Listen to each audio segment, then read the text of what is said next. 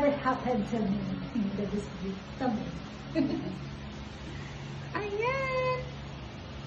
Meron kaming cute-cute na Mother's Day cake. O, di ba? At may pa pizza. At may pa royal to orange.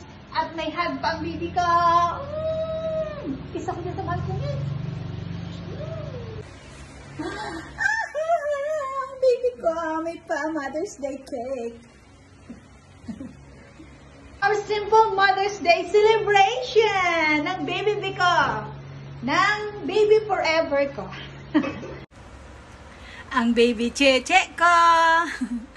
Andito ngayon. Binisita si mama. Mother's Day special. Andito ang baby ko. Oh. Ang baby baby ko. Forever baby talaga.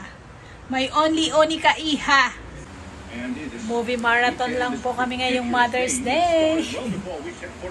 Ayan, movie marathon kami at may pa-cake ang baby ko.